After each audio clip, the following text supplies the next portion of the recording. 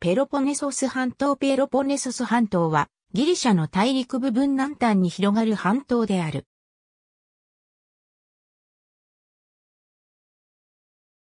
ギリシャの本土とはコリンティアコス湾及びサロニコス湾で隔てられており、コリントス地境でつながっている。ペロポネソスは古代ギリシア語での発音に由来する表記であり、現代ギリシャ語での発音ではペロポニソスとなる。このほか、ペロポンネソスなどの表記も用いられる。ベネツィア語では、モレアと称された。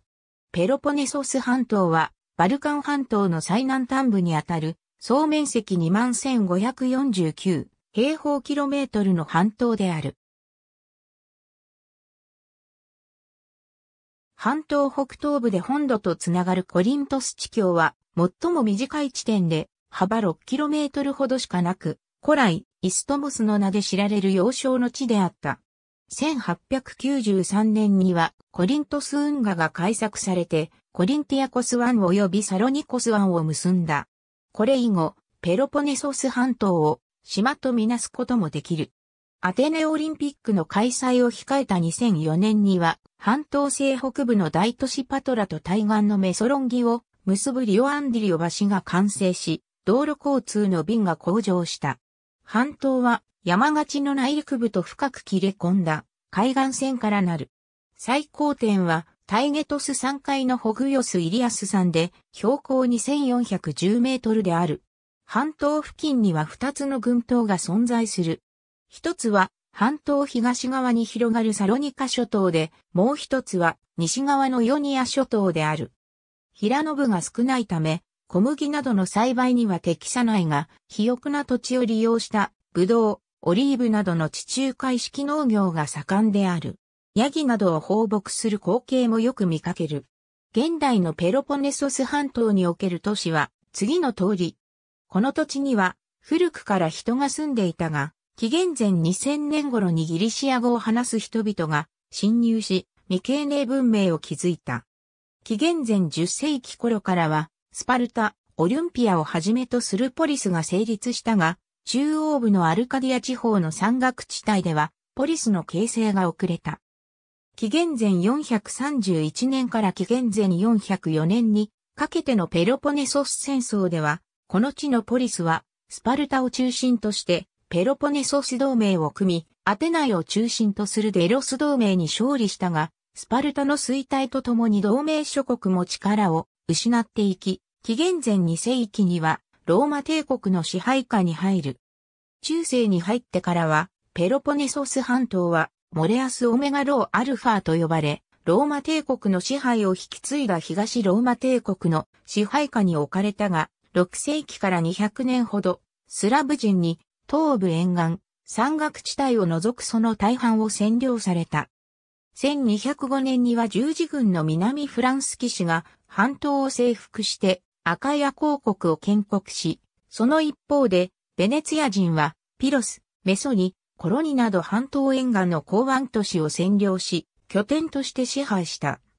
東ローマ帝国は1262年に赤ヤ公国からスパルタ近郊のミストラス、モネンバシア、マニなど半島南東部を獲得し、ミストラスを中心に半島の再征服に乗り出した。14世紀にはパレオロゴス王朝の巫女が先制校として統治する行政体制、いわゆるモレアス先制公領が発足し、政治、文化的に著しい発展を見せた。15世紀には赤ヤ公国を滅ぼして最盛期を迎えたモレアス先制公領は1460年のオスマン帝国による侵攻と併合で終焉を迎えた。ベネツィアは半島の一部1540年までと1699年から1718年にかけて支配したが、オスマン帝国による支配はマニ半島における散発的な反乱を除き、揺るがなかった。1821年3月、ギリシャ人たちは各地でオスマン帝国に対して放棄し、ギリシャ独立戦争が始まった。ペロポネソスでは、半島東北部のカラブリタや、半島南部のカラマタなどで、反乱の口火が切られ、パトラの不主教が自由か、さもなくば、しかと訴えた3月25日は今日ギリシャの独立記念日とされている。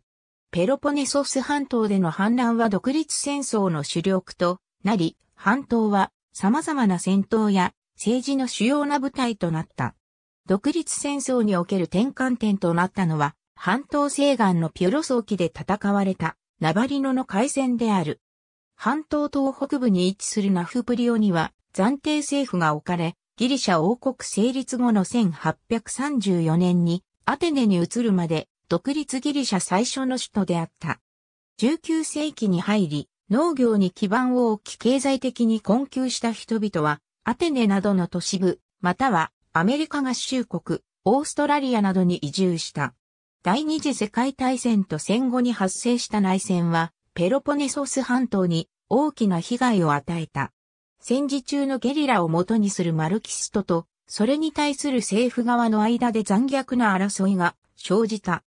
ギリシャが EU に加盟し、半島内の旅行が解禁された1981年以降には、状況は改善されたが、現在でもギリシャ国内における最貧困地域である。政治的には、ギリシャ内における最も伝統主義的、保守的な地域であり、右派新民主主義党の基盤となっている。ペロポネソス半島現在のギリシャ共和国の行政区分において、広域自治体としてのペロポネソス地方は、半島の多くを占めるものの地理的なペロポネソスとは一致しない。